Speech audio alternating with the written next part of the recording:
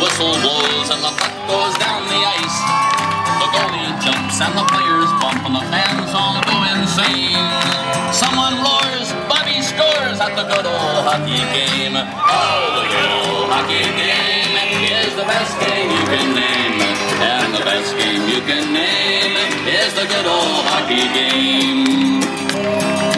Second period players dash with skates of flash. The home team trails behind, but they grab the puck and go bursting up when they're down across the line.